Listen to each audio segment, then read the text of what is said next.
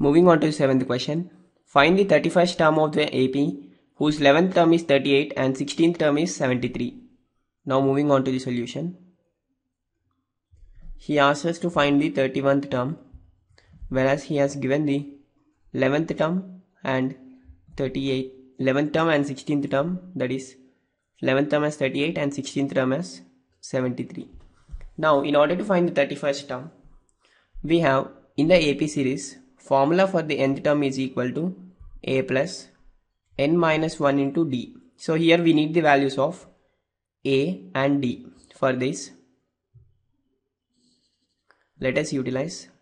t11 that is equal to 38 which implies let us substitute this n value in this then we get a plus 11 minus 1 into d is equal to 38 that implies a plus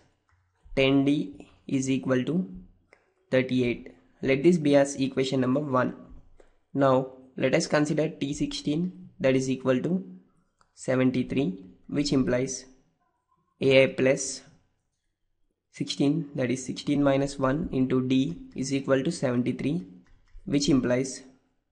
a plus 15d is equal to 73 let it be as equation number 2 now let us subtract 1 from 2 that implies a plus 15d minus a plus 10d is equal to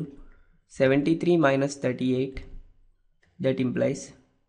a plus 15d minus a minus 10d is equal to 73 minus 38 is nothing but 35 that implies here a minus a is 0 and 15d minus 10d is nothing but 5d that is equal to 35 which implies d is equal to 35 by 5 that is nothing but 7 so here we got the d value as 7 so if we substitute in equation 1 we can find the value of a.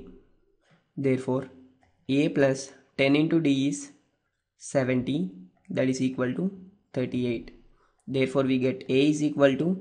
38 minus 70 that is nothing but minus 32. Therefore, here we got the value of A as minus 32. Here we need to find the T31 that is equal to A plus 31 minus 1 into D that is equal to A plus 30D which is equal to A value is minus 32 plus 30 times 7 that is equal to minus 32 plus 7 times 30 is nothing but 210